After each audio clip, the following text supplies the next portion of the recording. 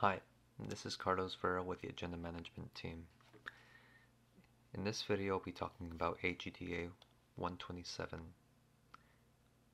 the front end for the user feed. Let's see how it works. When the user has logged in, they'll be metered, they'll be greeted with uh, a table showing all the items that are currently assigned to them. In other words, we're currently as we're currently logged in as Carlos A. Jimenez. On this table, we can sort by columns. We can select items we would like to see.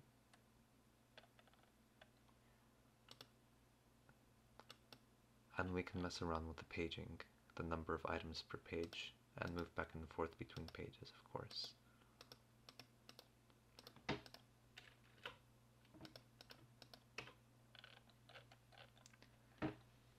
That's all for this video. Thank you.